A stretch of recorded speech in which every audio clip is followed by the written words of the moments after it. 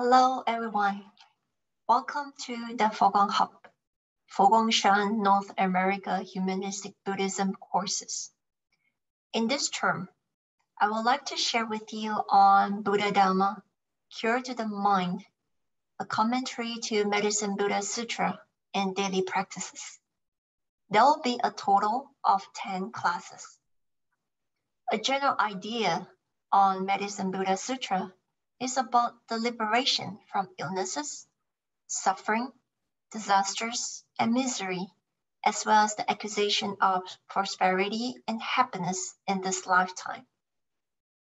The Buddha shares with us the possible solutions in solving the daily challenges and problems in life.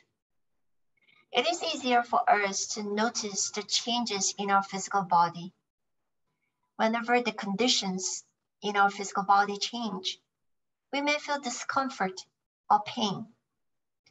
However, when it comes to our mind, when we are experiencing emotional changes or mental stress, we may not be aware of it until our mind affects our physical well being. So, how do we cure ourselves? How do we cure our mind? When it comes to physical illness, we can always seek medical advices from the doctor and obtain medications from drugstores, pharmacies, and etc. to heal our physical body.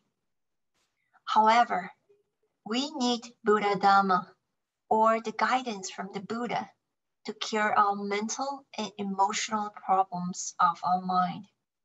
Therefore, in this class, we will be taking a step by step in learning the main practices of the medicine Buddha, the 12 great vows, and how these practices help in curing our default mind. I will see you soon.